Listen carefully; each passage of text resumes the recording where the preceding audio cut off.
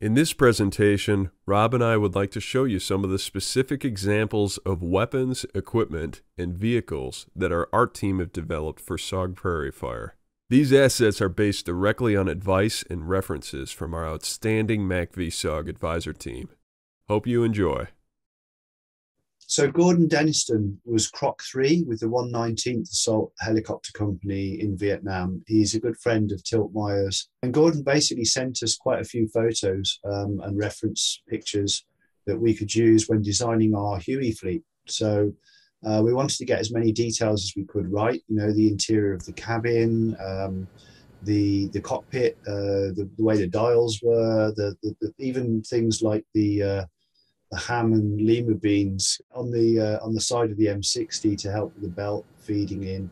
You know, he was great. Uh, he told us quite a few of his stories, and uh, uh you know, it, it, was just really a privilege to have somebody that was a pilot of one of these helicopters uh, having a look at what we were doing and giving us some input. Uh, let's jump into the next one, Jim SOG gear. Yeah, you can see Jim's shoulder pockets, uh, which mm-hmm. he's had sewn on to the to, to the arms of his uh, of his combat jacket. In SOG, I had a regular uniform that was sterile, and I took the bottom pockets off your, you know, the regular jungle greens.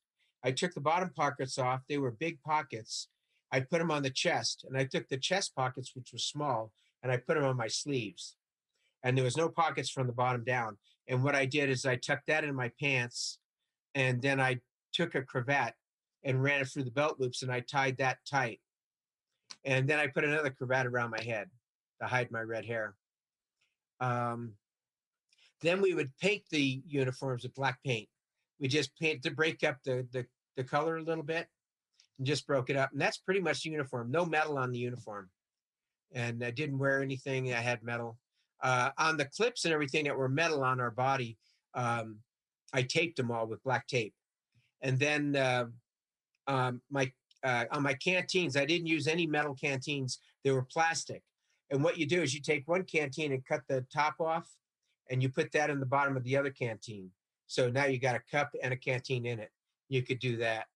The I love the second picture, which you know you can see the sort of fatigue in his eyes in, in that picture. He's still got a light in there. He's still he's still awake and yeah and alert, but you can tell that he's he's been out for a while in that in that yep. picture, and he's completely loaded down with his SOG gear. Uh, and and it gave us that sense of everything's sweaty, everything's muddy, everything's uh, been sprayed, and uh, you know to make it more camo and less less sort of orthodox. There's nothing there's nothing about any SOG guy going over the fence that looks normal. Jim also sent us these pictures um, of uh, you know some of weapons and told us quite a bit in, in emails and then in voice as we got to know him oh, yeah. uh, about the weapons that he used. Um, and then for a weapon, I carried the Car 15. Now, a couple of times in SOG, when I was at B 53, I carried a Swedish K. And one time I carried a um, an Uzi, but the Uzi had a silencer, you know, and uh, the silencer is like twice the size of the friggin' weapon. Prisoner snatch, we used a high standard, 22 high standard, with a um, with a silencer on it, because you don't want to kill the guy. But what you do is you you take a good shot and you hit him in the gut, where it's gonna fold him over and he's gonna be in a lot of pain. And then as soon as you hit him, you know you're gonna go ahead and take that guy out. You're gonna get him out there on ropes, even if you have to set him off by himself. But you're gonna get that guy out of there and um, then they'll they'll go ahead and patch him up. So you got to be careful you don't hit him in a vital area.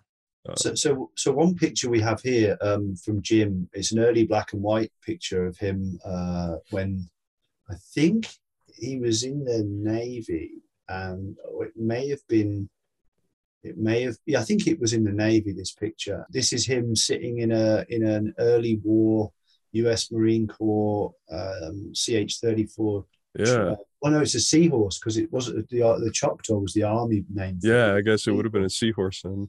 Yeah, you can so see the two M60s. Yeah, it's got the window M60 as well as the door M60, and that's what we put in the in the game. You yep. know, we we basically designed this early model uh, based on uh, Jim's photo. Next folder um, is Joe Driscoll's um, Scarface Cobra folder, and uh, few pictures in here of um, which which Joe Driscoll kindly sent us of his Cobra that he served with in Vietnam uh, on Operation Tailwind, which was a legendary Hatchet Force mission, which is in SOG Chronicles by John Stryker Um, HML 367, Scarface, and uh, Joe's uh, call sign, I think, was Scarface 43. And uh, basically, he was very, very helpful with us uh, when talking about the Cobra, finding the manual for us.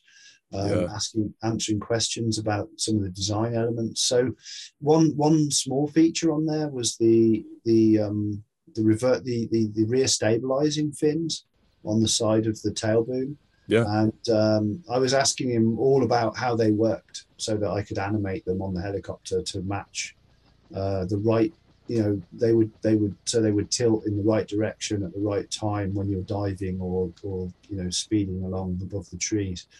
Um, and that was useful. We in the manual it said that there was a smoke grenade dispenser at the you know mounted in the cockpit um, and he said they'd never had that. It was never there in vietnam. So we hmm. we, we didn't include that feature in our in our cobras.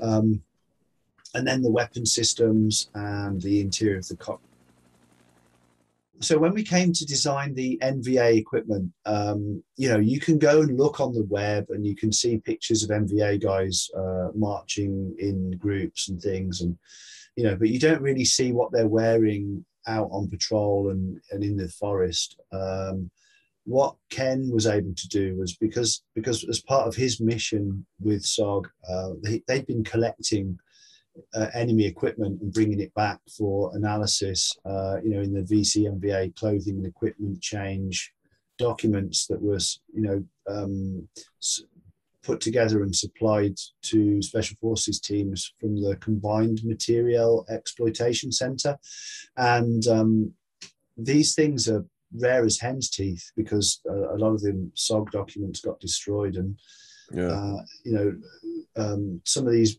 things did make it back through special forces channels um, and, and you know eventually were lodged with the uh, special warfare school and what Ken also has is a huge collection of bring back equipment that he, he kept. So you can see we've got the uh, the NVA boots, uh, you know VC uh, webbing and belts, um, NVA hats and helmets.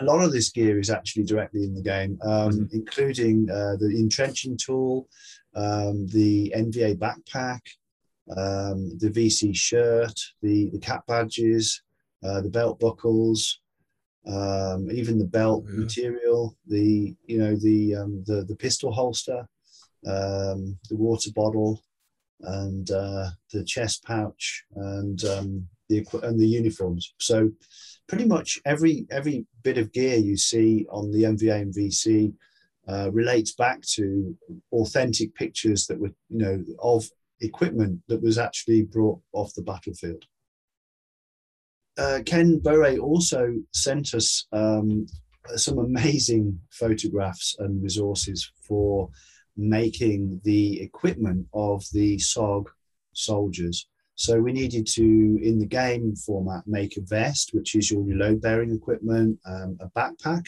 hat, headgear, and um, uh, accessory, which is usually um, you know a gas mask or a, or a scarf, um, and the uniform with boots and gloves.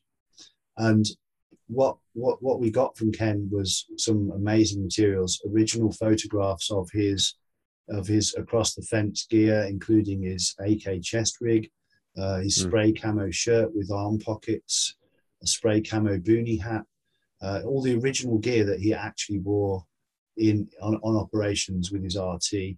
Um, he also still had his Stabo rig, um, and he sent us many detailed pictures of that. He had his he had his uh, um, CISO uh, backpack, which the SOG guys carried, which was sterile, and he kindly packed it full of uh, you know um, items or clothing or something to make it pad out so we could see how the pockets were shaped when it was full. We got his uh, Pentax Penny um, Olympus, sorry, Penny camera, um, the URC 10 emergency radio, um, his Browning High Power and his um, custom uh, holster that he had made for that um, in country. Yeah. Um, and then his wrist compass, which kind of blew the minds of the modern forces guys we had also advising us that, that these guys are a living history group who have been collecting SOG equipment for decades. And they'd never seen this compass. They didn't know it existed or was used by SOG. So uh, they were absolutely ecstatic to find out about it. And uh, uh, they've since had them made by, by Silva um, and, and supplied to them for their, for their demonstrations and their living history work. Yeah, we have his recon helmet as well. So his, his CISO uh, manufactured pith helmet, which was a yep. fake NVA helmet with recon written on the back, so he doesn't get wasted by his own team. Uh, this is my old issue NVA helmet, but uh, spray painted black. But this is what the counterinsurgency support office, some of the kit they did, and some of the really good stuff. Uh, amazing what they turned out, you know, from the indigenous uh, equipment to stuff they used to issue us. And uh, but I wanted to show that to, to Rob early on, so I'll share that with you guys. And then uh, his actual jungle boots that he wore over there, which are in quite a state. Um, so um, yeah, we you know we were really really um, grateful to get all these pictures of his gear and uh, and then to produce them, put them in game, and, and to see his reaction when when he when discovering them. So on to Ken's weapons. Yep.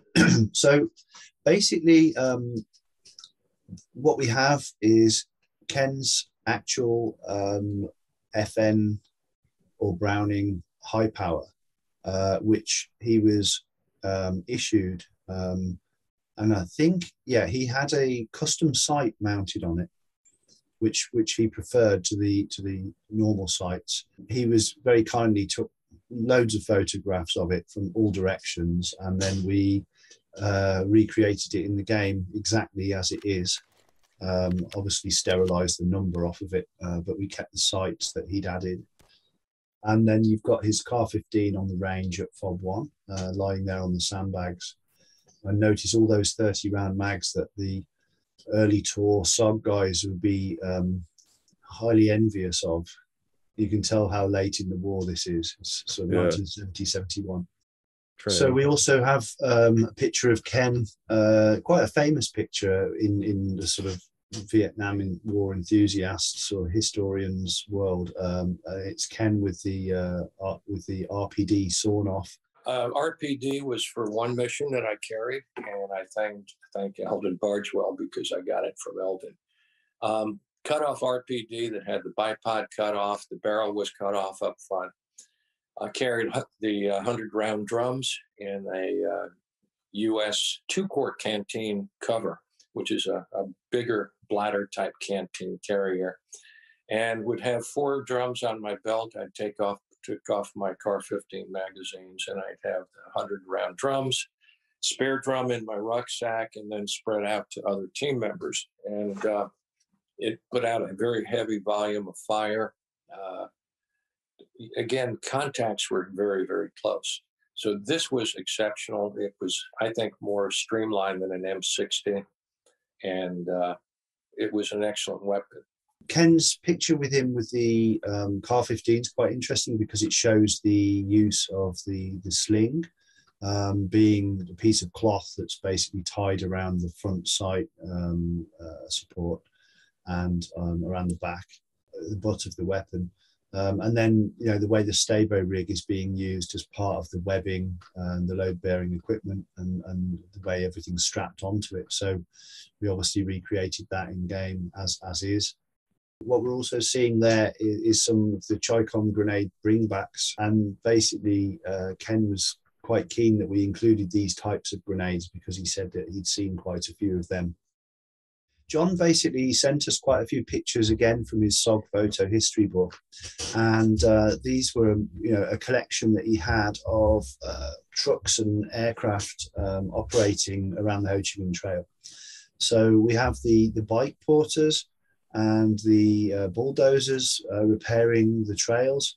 Uh, we have the river ford um, with the trucks going across. Uh, you know, it's, it's, this kind of idea of hidden bridges that you can't see from the air.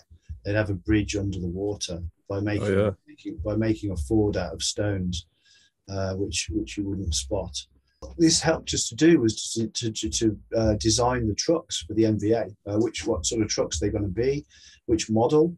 Um, you know, in this case, I think it's a ZIL 157.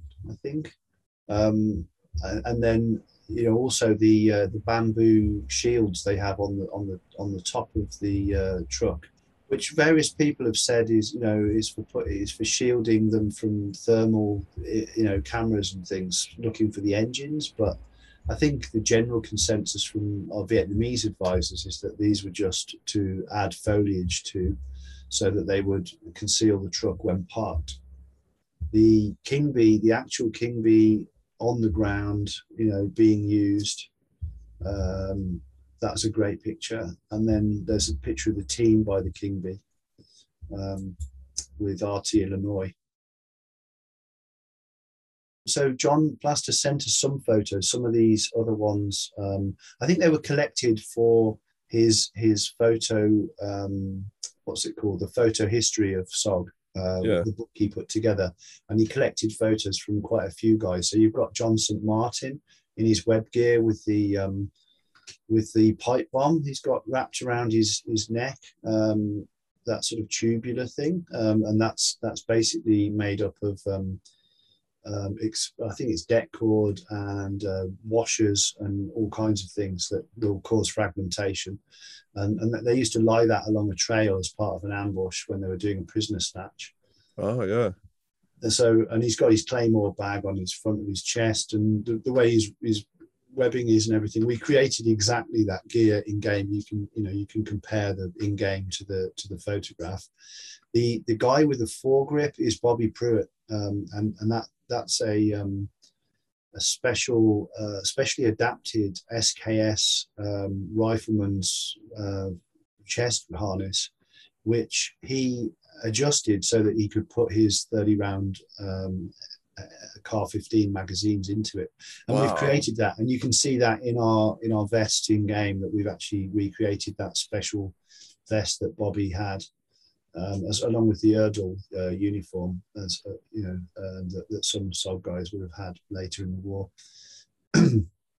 you also have um, pictures from John um, of the team dressed as NVA soldiers. So, so you know the NVA gear they had um, to to sort of buy them some time uh, on the uh, you know getting into contact.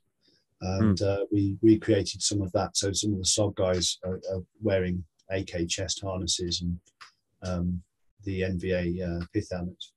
Really early on in the in the in the project, John Plaster um, sent us quite a few photos again from his SOG photo history book collection um, of um, pictures of weapons that were used by SOG um, or encountered by SOG in in Vietnam. So we've got the B40 rocket, um, which you know we recreated in game. Uh, we've got Eldon Bargewell's sawn off M79, Oh uh, yeah. which we, re- we recreated that in game. We, we have the um, the Swedish K, uh, which I know John carried on one mission, and then because it wasn't putting people down well enough, uh, he's had to keep shooting them twice. He, he switched to a Car 15 for all future missions. Oh yeah. Um, the M40 mini frag, the little golf ball grenade, um, and then uh, he was helping us with uh, with other pictures. So we've got the the 51 cal um. We've got the sawn off RPD, and that's actually Frank Greco in the black SOG outfit um, with the sawn off. And then the um, the rifle rack. So so John sent us this picture of a of a SOG rifle rack with the um, with an M2 carbine, the Car 15, Oh, and a B forty one right on there too. and then you've got the the RPD sawn off, the M79, and a Type 56. So uh, we actually rebuilt that rifle rack in game as well as all the weapons. Yep. Um, and then you have his uh, high standard 22 cal um, suppressed pistol, and then also in the suppressed we've got the, the Sten Mark II. Um, although that looks like a Mark One, but I think it was the Mark Two that we put in game. Oh no, that is a Mark Two. Yeah, no, I think we've got I think we've got a Mark One but So um, yeah, we also have the SOG banana knife, um, which I think was called a bolo, um, and we we modelled that, and uh, the uh, it was kind of like a, uh, a more indigenous version of the machete, and a bit of a heavier blade, and uh, used for pretty much everything in, in survival. So we've got the toe popper mine, uh, which John sent us a picture of, and obviously we use those a lot in our campaign, uh, placing those on the trail to, to deal with trackers. And then uh, the Welrod pistol, which was originally used by OSS and you know the Jedburgh teams, and then and then uh, brought into Vietnam and used by SOG. And then the last thing we have here is the um, the linear anti-personnel mine XM37. Well, that that's basically the um, what you saw John St. Martin wearing around, yeah. around his body. In Tilt's weapons folder here, we've got um, just a couple of samples of things he sent us, and the first one is um, RT Idaho at Fob Six uh, at Ho Nok. Um, I hope I pronounced that right, and uh, you can see them all with the Car 15s, the M72 Law, um, and just the web gear really uh, the way that all the gears set up for their war gear um, and different different camo different hats. Everyone's looking slightly different like you say band of pirates. Then we've got the the, the legends themselves uh, lynn black jr and and uh, tilt meyer sporting their car 15s and uh, lynn or blackjack has basically got his XM148 40 mil grenade launcher, which yeah. you know it was a pretty rare weapon um, in even in SOG. Uh, but we included it, and we also included the M16 variant, which you see people using um, occasionally as well. You can see the difference with the webbing belts here is that Tilt's wearing a bar, what looks like a bar belt with with a bar bar um, pouches, which he's got full of full of no doubt full of those tiny little uh, 20 round uh, car 15 mags, which he'll probably only have 18 rounds in each, and he's probably got four or five of them in each pouch. And then when you look at uh, Blackjack's hips, you can see he's using um, um, the uh, canteen pouches. Well, that, that brings us to the end of our um, excursion through some of the photos, and that was only a very small fraction of the photographs we've been sent by by the military advisors on the project, and uh, was uh, really cool to work with. You know, um, yeah. because every question we asked, they had the answer. Um, there was a lot of uh, banter and rapport going on, like throughout the whole project. And then when we'd show them something that we created based on something they'd sent us, they'd always be so delighted uh, to see the end result and to see that we'd listened and, and taken action on the things that they'd sent us uh, to include it. So um, I'm, uh, I'm really happy with what the team produced, what the artists produced at the end of the day. Um, and what we've managed to put out in the game is probably the most historically accurate um, representation of MACV that's ever been put on camera or in a video game.